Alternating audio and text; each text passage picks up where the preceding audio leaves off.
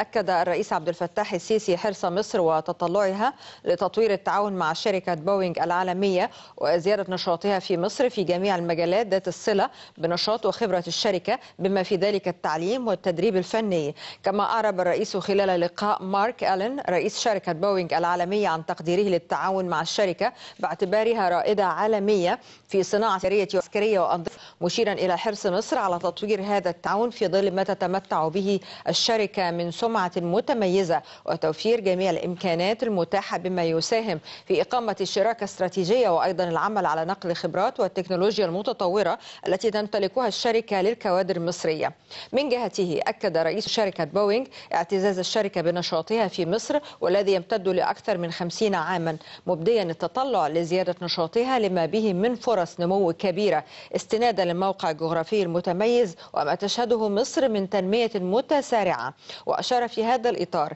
إلى حرص الشركة على المشاركة في المعرض الدولي للدفاع والتسلح إيدكس 2018 المقرر تنظيمه بالقاهرة شهر ديسمبر القادم. وقد تناول اللقاء استعراض التعاون بين مصر وشركة بوينغ العالمية والذي يشمل الطائرات التجارية حيث تم بحث تطوير أسطول شركة مصر للطيران والذي يضم عددا كبيرا من طائرات البوينغ وذلك من خلال التعاقد على الأجيال الحديثة من الطائرات مثل بوينغ 787